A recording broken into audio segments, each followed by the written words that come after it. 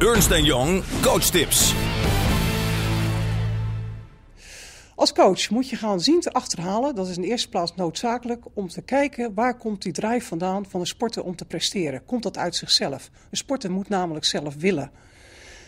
Hoe komen we nou tot een volwaardig topsportproject? Vaak is dat nog niet voldoende ontwikkeld en moeten we gaan zorgen dat we daar dus die ontwikkeling gaan aanbrengen.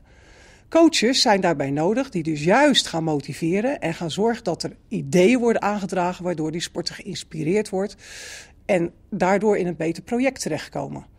Daardoor krijg je dus ook dat die sporter uiteindelijk in een intrinsieke sportbeleving komt. Dat wil zeggen dat dat vanuit zichzelf gaat ontwikkeld worden. Daaruit voort komt dus ook een total commitment, wat uiteindelijk ook weer belangrijk is om weer een verdere stap te maken. Die vaardigheden die de coach nodig heeft, zijn dus niet alleen maar op technisch vlak en op mentaal vlak, maar vooral op motivatie en op inspiratie. Iedere week kijk ik samen met Mark Lammers naar een talentvolle coach. En vandaag is dat Janneke Schopman, 193-voudig hockey international en coach voor meisjes A1 van hockeyclub Den Bosch.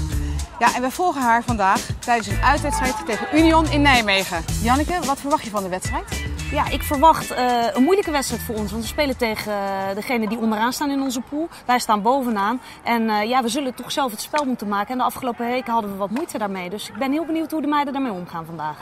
Is coachen nou moeilijker dan zelf hockeyen? Want je bent nog actief. Coachen is moeilijker. Maar ik vind het wel fantastisch leuk. En het moeilijke eraan is, is dat je zelf geen invloed hebt op die wedstrijd. Je staat langs de kant. Die meiden moeten het zelf doen. Je wil ze zoveel mogelijk helpen. Maar uiteindelijk, ja, zij moeten het doen. En uh, sta jij eigenlijk machteloos te kijken. Mark en ik gaan jou volgen uh, tijdens de wedstrijd. Uh, let vooral nu op ons. Doe lekker je ding. En dan na afloop gaat Mark je nog wat tips en adviezen geven. Oh, hartstikke leuk. Ja? We gaan ons best doen. Oké, okay, nou veel succes. Dankjewel. Ja? Mark, dit is jouw vakgebied, jouw territorium. Ja. Je weet wat er allemaal bij komt kijken om een hockeyteam te coachen. Wat is nou het belangrijkste daarbij? Nou, het belangrijkste vandaag, met name vandaag, is uh, het team van Janneke de Mos staat bovenaan, moet tegen de onderste. En de vraag is hoe motiveert zij zichzelf? Hoe motiveert zij het team? Geeft ze misschien andere doelstellingen aan? Van luister, we moeten misschien dat systeem of dat goed spelen. Plus, wat uh, belangrijk is, dat, dat zei Janneke zelf ook al, je moet maatwerk leveren als coach. Je bent met een teamsport hier bezig. Je hebt 16 speels, er mogen er maar 11 spelen. Je moet doorwisselen. Dat is best wel lastig, want iedereen is uniek. Niemand is hetzelfde. Oké, we hebben vorige week, even heel belangrijk, we hebben vorige week iets afgesproken na de wedstrijd tegen Rotterdam. Wat was dat? Scherp beginnen. Ik vind, je moet vandaag de intentie hebben, als we die wedstrijd starten, dat er maar één ding is. En dat we binnen vijf minuten willen laten zien, hier zijn wij. Wij bepalen vandaag wat er gebeurt en die dominantie uitstralen. En dat moet ieder voor zich doen. En wat is dan het allerbelangrijkste als we hier of aan deze kant de bal hebben? Ja, iemand diep aan de balkant. Scherp starten, fel starten. En dat doe je zelf door goed te beginnen aan de warming-up. Het is misschien wat warmer, dat betekent dat je veel energie moet leveren. Ja, en hoe meer energie je levert samen, hoe makkelijker het is en hoe leuker het ook is. En in de stick aanspelen! Simpel, de eerste pas die je ziet. Zo. Goeie aanval, Den Bos! Neem hem! Neem hem nu snel! Sarah! Hoe moeilijk kan het zijn? Waar ligt haar kracht nou, denk je? In, in het fanatisme en het perfectionisme. Ja? Ja, dat is ook die valkuil. Ik bedoel, ze is heel perfectionist. Ziet ook nu, nu baalt ze gewoon dat het niet, niet goed gaat. Wat doen we? Wat doen we? Dames, ze moet iets scherper en iets feller en simpel spelen. Juist, en nu ook weer. Goed zo, Lisa. Ik bedoel, je hoort wel de, de manier waarop ze praat, is heel streng. Prima, Roos, prima. Maar de informatie die ze geeft is dan redelijk positief. Als we in de kom staan is dat prima, maar dan kun je wat verder uit elkaar en zorgen dat Kira en Oda misschien wat hoger kunnen staan. Die laatste actie weet ik niet, die kwam uit de counter. Maar kijk nou eens of je hier de cirkel binnen kan komen, in dit gebiedje en niet daar. Dus zorg er dus voor dat je veel meer binnenkomt hier. En dan moeten we sneller komen. Pam, voor je man, tak, tak. Wat ook heel knap is van, uh, van Janneke, die doet nu al acht jaar uh, dit meisje 1 team. En er zijn zoveel talenten uitgekomen. Als je bij Neel zelf kijkt, er spelen vijf speelsters nu die bij haar uit de jeugdopleiding komen en naar het team hebben gezeten. Dit hebben ze net in de rust uh, geoefend. Sarah, loop het niet te vroeg in graag!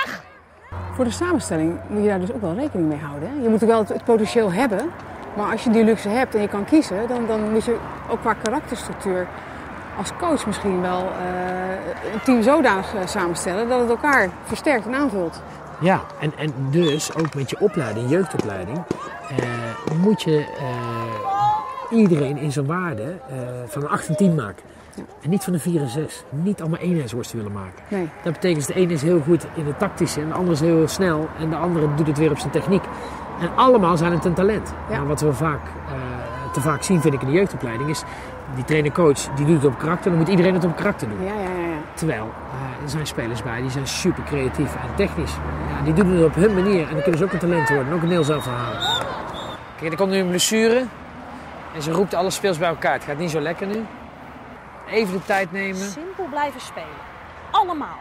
Geen lange ballen, gewoon simpel, kort combineren, doorhoekje en de cirkel in lopen gaat hij. Kom aan. Nemen, up, en weg ben je, en weg ben je. Nou, wie weet. Nou, naar binnen. Haal er wat uit. Ja. Ja, ja. Oeh, verkeerde positie. De dames dachten van nee, dat gaan we wel, eh, Even, even gaan we wel doen. doen vandaag. Vorige keer 6-1. Voor de ontwikkeling van, eh, van deze speels wel goed om zo'n tegenvallen te hebben. Ja, ik denk dat je wint. Ja. Uiteindelijk leer je hier toch weer meer van, van deze wedstrijd, dan eh, met 6-1 winnen weer. Ja. Ja, en ik vind helemaal niet eh, dat je heel dramatisch hoeft te lopen doen. En als ze allemaal zeggen, "Huh, huh," nou, lach lekker. Wij zitten in de play-offs hoor. En als we hier wat mee doen, dan hebben we er ook daadwerkelijk wat aan in die play-offs. En op zich hebben jullie het nu weer leuk volgende week spannend gemaakt tegen KZ. Hè? Ja, dan moeten we gewoon weer winnen van KZ. Dus dat is leuk. Eens dames? Ja. Weglopen hier, kop omhoog. Scheid hebben aan de wereld. Yes? Janneke, dat waren geen vrolijke kopjes. Nee, nee, Nee. helemaal niet. Maar ja, dat is ook logisch. Dus eh, Ja, ze hadden willen winnen. Dus ja. ja, waar lag het aan, denk je? ja onrustig begin. Als je, ja, tegen zo'n tegenstander moet je een doelpunt maken, is mijn, eh, mijn oog. Dan moeten zij nog iets meer komen, dan krijgen ze wat rust. En ik vond we begonnen redelijk goed, althans in ieder geval dominant.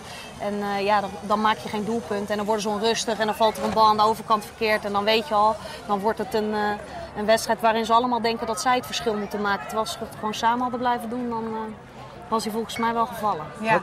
Heb je nog wat adviezen voor, Janneke? Nou ja, het is, Janneke heeft zoveel adviezen gehoord de laatste acht jaar, denk ik van mij.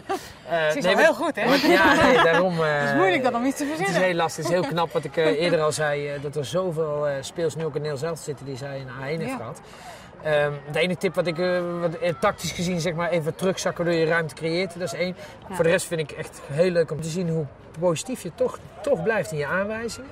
Terwijl je wel scherpte vraagt. En je, Ja. je, bent, je hebt de gedrevenheid, je hebt de passie van hier te vinden.